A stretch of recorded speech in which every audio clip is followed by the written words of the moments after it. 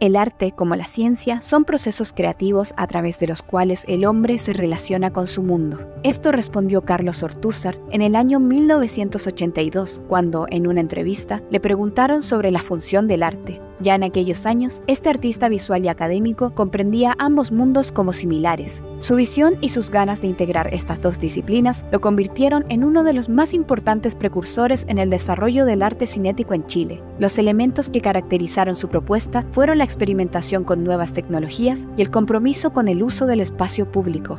Nacido en 1932 en la ciudad de Santiago, Carlos Ortúzar cursó estudios de Derecho y Filosofía en la Universidad de Chile y en 1956 ingresó a la Escuela de Bellas Artes de la misma casa de estudios. En sus comienzos abordó temáticas como el paisaje, las leyendas tradicionales y la arqueología chilena. Luego, gracias a una beca, pudo estudiar en el Pratt Institute y en The New School for Social Research de Nueva York, Estados Unidos. Tras su regreso a Chile, se convirtió en profesor en la Escuela de Bellas Artes. Su trabajo se nutrió de nociones matemáticas, cibernéticas, físicas y tecnológicas, transformándose en un ejemplo singular de interdisciplina.